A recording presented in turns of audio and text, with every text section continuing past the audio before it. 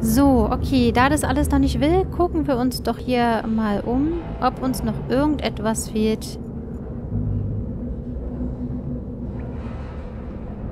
Ich räume die Bohlen dort an die Wand. Aha, okay. Hm, immer noch nicht viel mehr zu sehen. Das Licht reicht nur einige Meter weit hinunter. Ich habe keinen Schimmer, wo der Schacht hinführt. Ich sehe nichts, ich rieche nichts, kein Lufthauch, gar nichts. So, ach guck mal, hier haben wir einen Holzbohlen. Die Bohlen haben stark unterschiedliche Dicke. Und einige sind viel stärker vergammelt als andere. Vielleicht sind sie aus unterschiedlichem Holz. Ich nehme eine von den dicken, stabilen. Okay. So, da bin ich jetzt den mal Rest gespannt. lasse ich, wo er ist. Wir brauchen ja anscheinend einen Stein. Ich, ich weiß nicht, ob das jetzt richtig ist. Wir gucken einfach mal. Nee. Kriegen, wir- kriegen die Steine, glaube ich, einfach nicht hoch. Die Steine haben das richtige Gewicht. Und bis in die Lore kann ich sie wohl wuchten. Ich glaube das einfach nicht. Nein, bevor er die Bretter nicht weggeräumt hat, Die konnte er Lore keinen samt Stein dürfte reinpacken. jetzt gut und gern eine halbe Tonne wiegen. Genau das meine ich. Er hätte doch die Steine eigentlich, als die Lore da schon stand, reinräumen können und auch hinterher die Bretter wegräumen können. Aber gut, ähm, dann mussten wir halt erst das Holz wegräumen. Und dann denke ich mal, müssen wir das jetzt anheben, damit wir die Lore auch geschoben bekommen. Also gut. Ich muss nur zusehen, schnell genug zur Seite zu kommen, sobald die Lore abstürzt.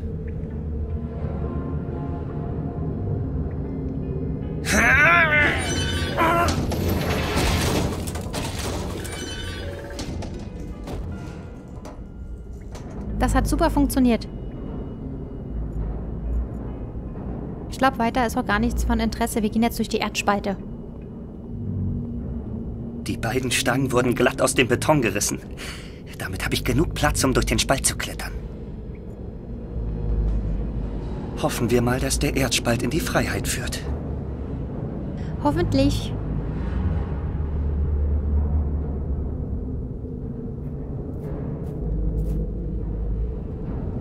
Aha, wo sind wir denn hier?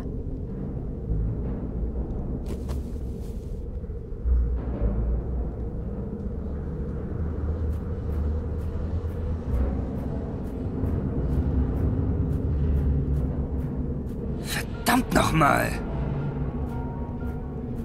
Ich krieche aus der Falle und lande im Versammlungsraum des Ordens? Das kann echt nicht wahr sein. Zum Glück scheint niemand hier zu sein. Ja, ein Glück. So, wir gucken uns hier erstmal ein bisschen um.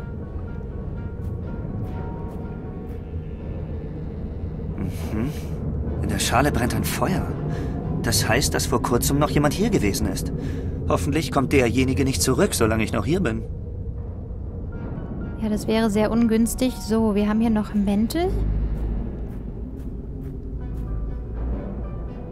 Vor der Kiste liegen mehrere zusammengefaltete Mäntel. Fünf, sechs Stück. Heißt das, diese Verschwörung besteht nur aus einer Handvoll Leuten? Hm, wer weiß. Ach, können wir mitnehmen, ja? Uh -uh. Keine Hinweise. Nichts, was mir weiterhelfen könnte. Guck mal, hier haben wir... Wer war denn das nochmal? Ich kann mich nicht erinnern. Irgendeiner der Gorns, der Vorfahren. Ach, ich weiß nicht, war das der Lothar Gorn? War das der, der im Zimmer von Robert hing, das Bild? Ich weiß es nicht mehr. Und hier ist wieder der Baum. Wie auf dem Ring, den wir gefunden haben. Ob das hier so eine Art Versammlungsraum ist?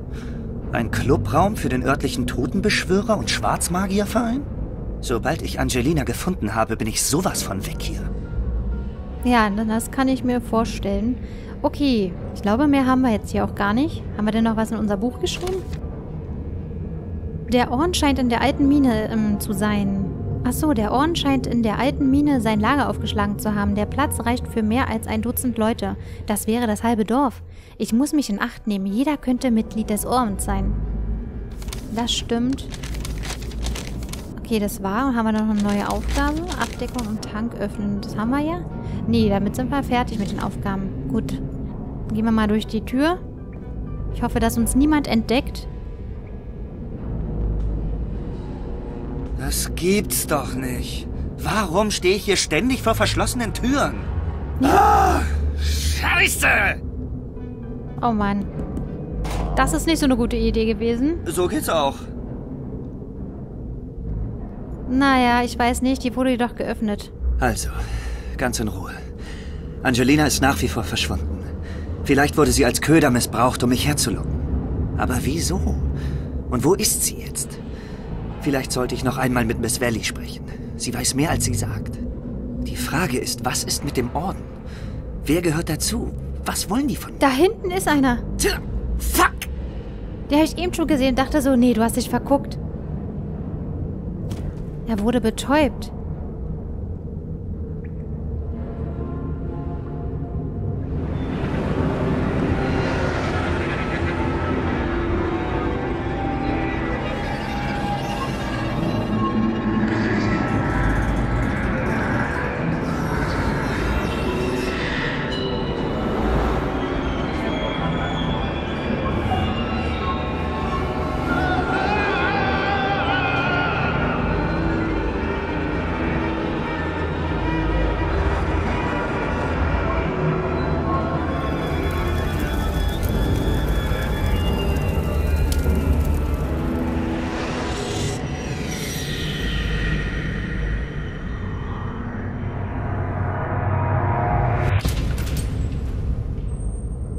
Kapitel 4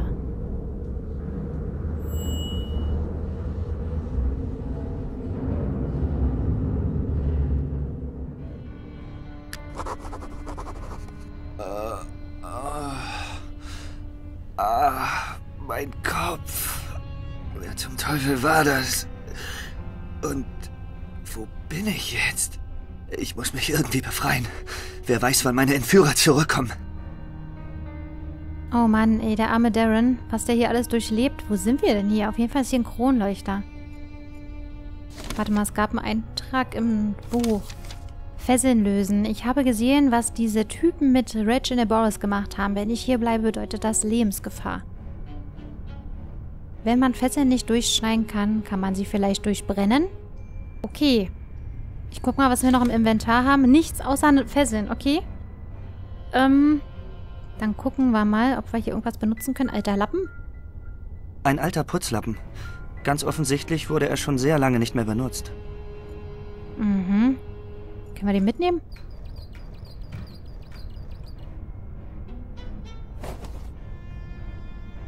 Okay, ähm. Hier haben wir noch eine Flasche. Hier haben wir das Fenster. Durch die vernagelten Fenster strahlt helles Tageslicht. Wie lange war ich ausgeschaltet? Hm. Durch die vernagelten Fenster strahlt helles Tageslicht. Wie lange war ich ausgeschaltet? Hier haben wir eine Petroleumlampe. Eine alte Petroleumlampe. Sieht mir ziemlich groß und schwer aus. Das Glas fehlt. Das Glas fehlt? Hier sind Glasscherben. Einige Scherben. Vermutlich von der kaputten Öllampe. Sie sind gewölbt und relativ dick. Die können wir mitnehmen. Versuchen wir mal unser Glück. Und vielleicht können wir die Glasscherbe hier ins Licht ähm, legen? Nee. Aber irgendwie müssen wir doch uns hier durchbrennen, hat er gesagt. Holzbein. Vielleicht müssen wir ins Licht gehen mit dem... Warte mal, wir gehen mal ein kleines Stück zurück. Noch ein Stück. Und dann gehen wir mal hier ins Licht. Und? Vielleicht funktioniert es ja. Durch die vernagelten Fenster strahlt helles Tageslicht. Wie lange war ich ausgeschaltet? Nee. Hier sind noch Fesseln, na die brauchen wir ja nicht, davon haben wir genug. Ich weiß nicht mit der Glasscheibe. Normalerweise, wenn man die ja ins Sonnenlicht hält, ne? Erhitzt die sich. Müsste doch funktionieren. Hm. Tja, ich weiß nicht, vielleicht brauchen wir doch den alten Lappen. Ah, ich glaube, wir müssen erstmal den Lappen da hinlegen. Und vielleicht dann mit der Glasscheibe. Wir gucken mal. Gehen wir hier hin. Vielleicht so? Nee, das ist zu weit. So, versuch's mal hier so.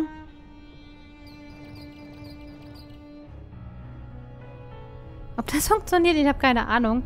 Ach, was haben wir hier noch? Eine Flasche. Vielleicht mit der Flasche? Eine grüne Plastikflasche. Ich kann nicht so genau erkennen, was es ist. Können wir die vielleicht mitnehmen? Ich schiebe sie näher ins Licht.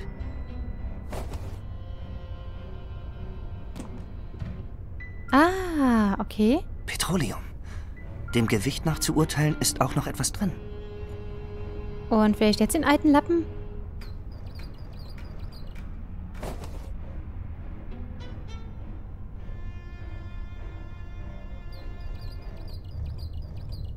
Ja, der muss schon ins Licht stellen.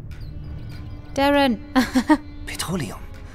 Dem Gewicht nach zu urteilen, ist auch noch etwas drin. okay, wir versuchen es mal mit der Glasscheibe. So, Darren, jetzt komm nochmal zurück. So. So. Okay. Petroleum. Ja, Dem Gewicht nach zu urteilen, ist auch noch etwas drin. das hatten wir ja schon.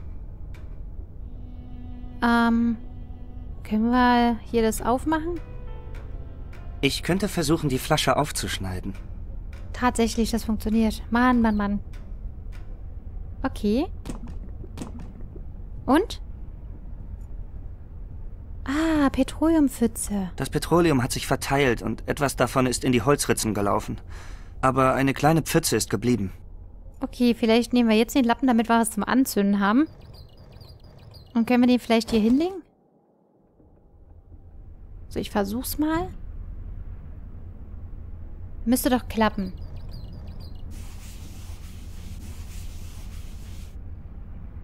Okay. Ich glaube, ich habe alles erwischt. Der Lappen ist jetzt in Petroleum getränkt. Okay. Der Lappen ist mit Petroleum getränkt. Zumindest Teile davon. So, ich nehme jetzt nochmal eine Glasscherbe.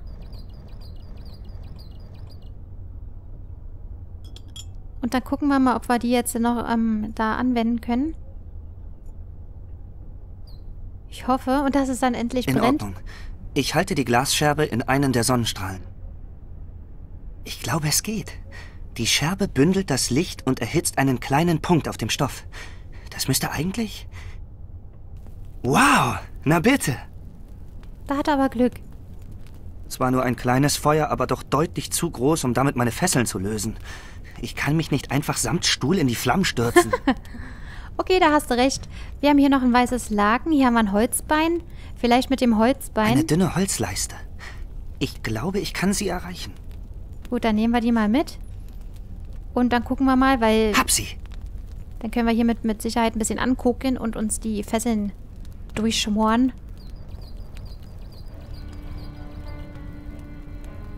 In Ordnung. Ich müsste da ankommen.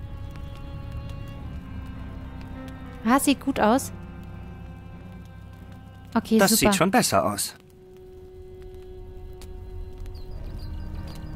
So, dann gucken wir mal, dass das jetzt funktioniert. Und? Ja. Okay, ein Arm ist schon mal frei.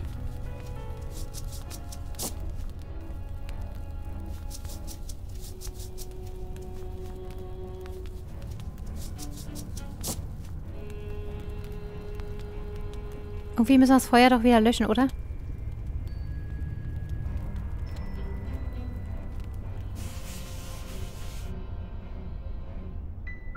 Das ist schon mal viel besser.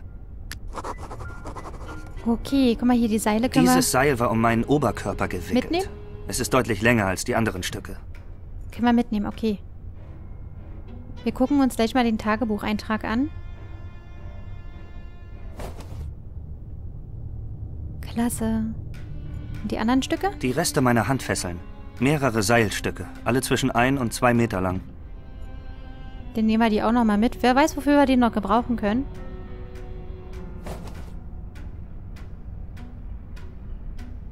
Und hier haben wir noch eins liegen, aber das will er nicht. Der Bürostuhl passt hier überhaupt nicht rein. Wahrscheinlich wurde er mitgebracht, um mich daran zu fesseln. So, jetzt gucken wir mal. Ähm, um. Hier hat er eine Seite rausgerissen. Umsehen. Ich sollte mich sehr vorsichtig umsehen. Ich will nicht, dass der nächste Schritt mein letzter ist, aber ich muss wissen, wo ich bin und wie ich hier wegkomme. Okay. Irgendwo um nirgendwo. Mein Kopf dröhnt, meine Zunge ist geschwollen und die Augen brennen. Das war ohne Zweifel die übelste Nacht, die, die ich jemals verbracht habe. Es ist nicht leicht, dem Orden zu entkommen. Sie müssen. Was? Sie müssen Wachen vor der Mine aufgestellt haben. Einer von ihnen hat mich mit einem Betäubungsfall erwischt. Wo bin ich? Bin ich noch im Willow Creek? Draußen scheint die Sonne. Das heißt, ich muss mindestens für ein paar Stunden ausgenockt gewesen sein. Theoretisch könnte es aber auch mehrere Tage gewesen sein. Okay, gut. Ähm, wir sollen uns umsehen. Ui, ist da ganze Menge. Guck mal, hier haben wir einen Lagen.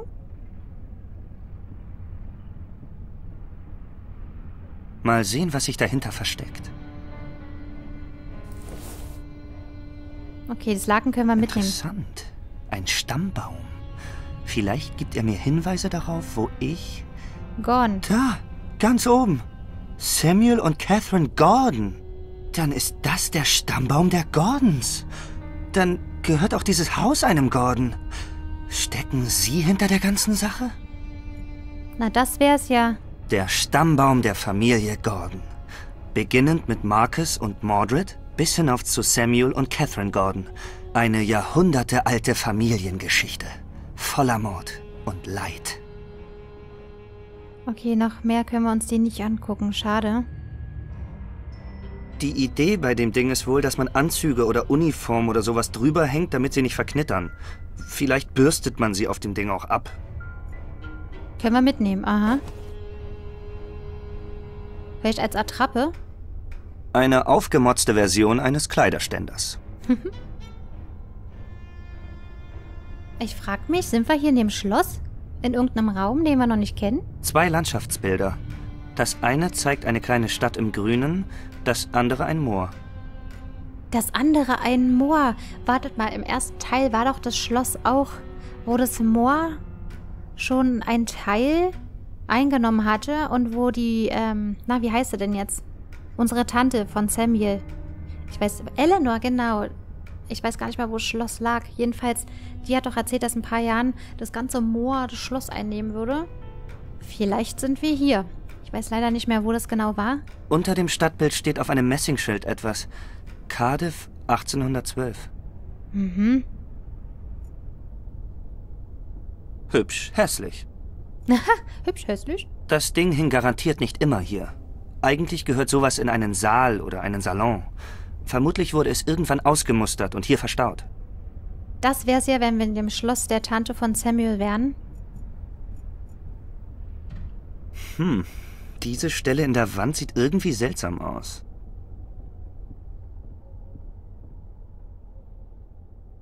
Ein Geheimfach. Mhm. Nanu? Kinderspielzeug. Okay.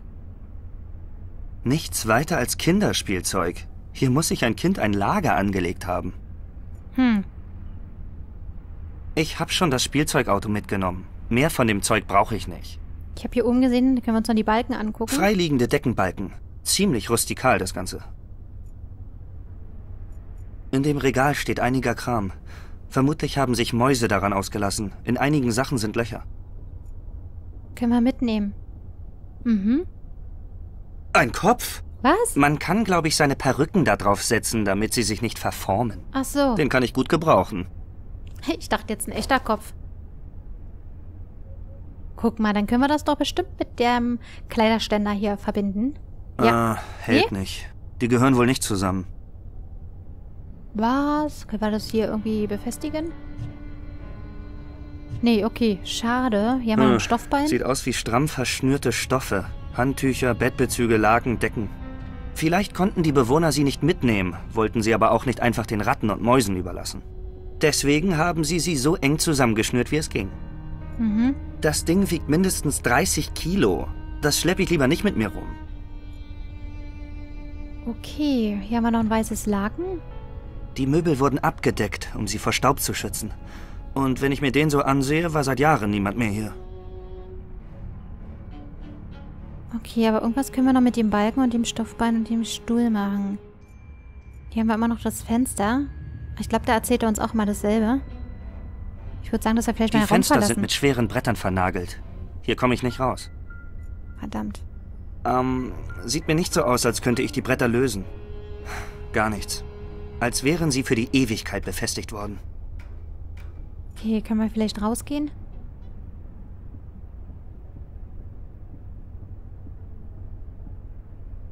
Ein Flur mit einer Treppe am Ende. Unten läuft ein Kinderprogramm im Fernsehen.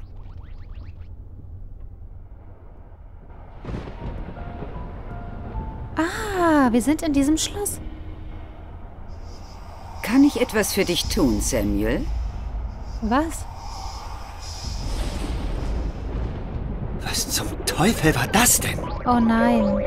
Nicht, dass Darren genauso anfängt wie Samuel.